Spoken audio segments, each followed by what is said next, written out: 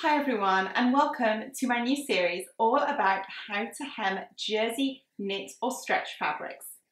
So I've got a selection of videos that I'm going to be sharing with you over the up and coming weeks and each of the videos is going to focus on a different stitch or technique. Today's video is sort of a broader video talking to you about my five tips, top tips for sewing jersey hems and how to get a really neat and professional finish on your jersey hems. I'm then going to talk you through a variety of stitches and finishes that you can use when it comes to hemming your jersey, some of which will be on the sewing machine, some on the overlocker or serger. So watch today, get some tips, and have a look at the hems that you can do. And then over the coming weeks, I'm going to be sharing each of the hemming techniques in greater detail. Let's start by talking about my top five tips when it comes to hemming jersey. The first tip is to use interfacing in the hem. Now you're going to want to use a lightweight knit or stretch interfacing so that it works with your fabric. You can purchase this in strips or you can cut your own strips. And you want this to go behind where you're going to be sewing on your garment. Now, this is for a number of reasons. The first one is it will make the stitches appear better. If you're doing a blind hem, they will be less visible. But you'll also find that it will help the machine to pull the knit fabric through. It will almost work as a stabilizer and will prevent you from getting things like tunneling on a twin needle hem.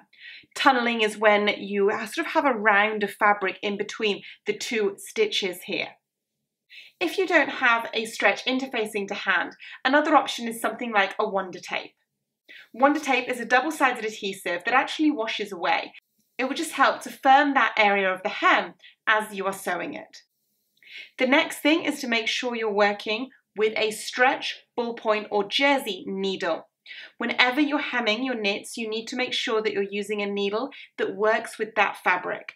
Otherwise, you may find that the needle will actually cut little holes in your knitted fabric. One little tip is if you're getting skipped stitches, with a ballpoint or jersey needle, move to a stretch needle to see if that helps. A walking foot is another really important tool that can help. It will help to feed your fabric through the machine when you're working with something that's a little bit slippy and a little bit stretchy. Finally, if you're still having problems and you've used your interfacing, you've used the correct needle, you've used the correct foot, you could use another form of stabilizer, something like a tearaway stabilizer, a washaway stabilizer. You can apply that to the top or the bottom of your fabric as you're working it through the machine, depending on where your problem is. You can even use a spray starch. That can help to firm up your knit fabrics a little bit and to make them a little bit easier to work with. It's also finally a great idea to test on your machine. You're going to want to test the stitch that you want to do and check the settings on your machine. You may need to tweak things like the tension or the foot pressure. If you're interested in learning more about the foot pressure, I have a tutorial here that you can take a look at. Now that you know the tips that you need to consider when hemming your jersey, let's take a look at the different hemming techniques that you can apply, the benefits and perhaps the negatives of each of those potential stitches. And I'm going to link you off to separate tutorials that you can watch here to learn how to do these stitches in greater detail. The first, and probably my favourite, is either what you would call a twin needle hem or a cover stitch or a fake cover stitch. Now a fake cover stitch or a real cover stitch look very similar. You're going to have a row of twin needle stitching on the outside of the garment and on the inside it would look something like this, an overlocker or serger finished.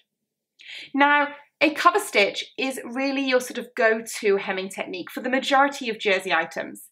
You can use it on lightweights to heavyweights, and the great thing about a real cover stitch is that it will allow the garment to stretch and bounce back. Now the downside is that a cover stitch or cover lock has to be completed on a specific machine, or you need to have a good overlocker or serger that allows you to complete a cover lock on that machine. So a lot of you may not have that as an option, which is why I'm going to be showing you how to do what I call a fake cover stitch or a twin needle hem. And that is to have this twin row of stitching on the front. And either just a simple sort of zigzag on the back. This is when I've just used the sewing machine to complete this technique. There is one thread, the bobbin on the back, which zigzags. The two threads on the top look like so. Or you can overlock or serge the edge of your fabric first and it looks a little bit more faux cover stitch. The downside to using the sewing machine for this method is that it doesn't allow the garment to stretch quite as much.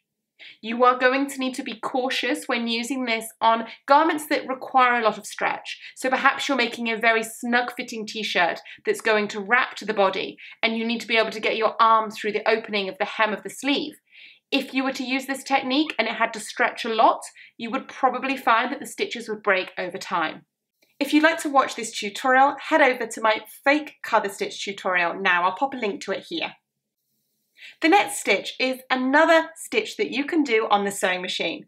And this is what I would call a stretch stitch or a wonky zigzag. So I generally do this using a zigzag setting, but I put my zigzag width to about 0.5 millimeters and I keep my length at about 2.5. What this does is it creates what I call a wonky straight stitch, so it looks a little bit off, but it allows there to be some stretch in the fabric. Now you are welcome to do any form of zigzag here as well. A two-step or a three-step zigzag would also work. Feel free to check out my video where I share tips and techniques for hemming jersey items on a sewing machine.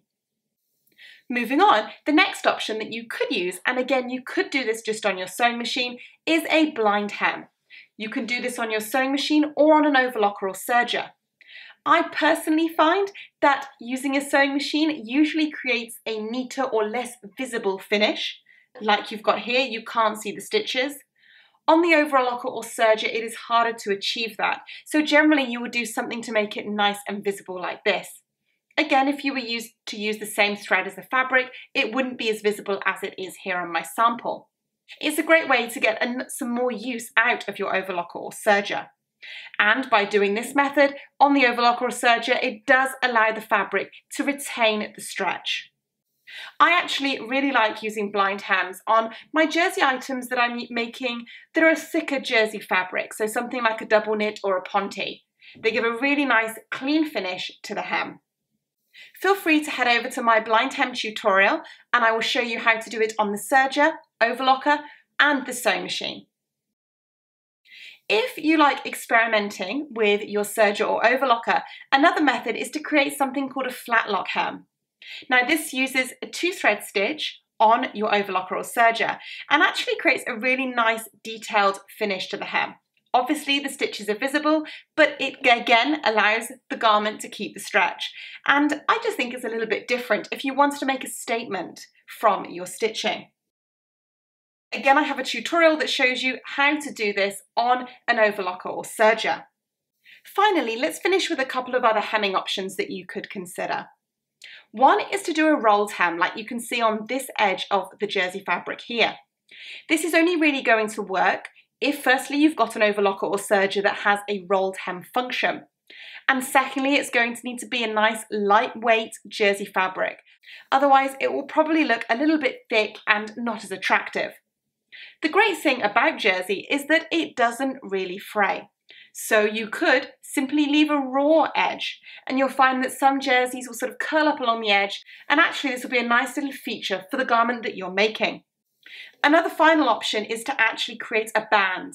And you don't have to just do this to the neck like I've done here. You could do this as a cuff to the end of your sleeves. You could do it to the hem of a garment if you wanted to. And again, I will pop a link to the neckband tutorial so that you can head over and learn how to do this, applying the same rules to what you're working on with your hem. So that is an example of some of the stitches that you could use to hem your jersey items.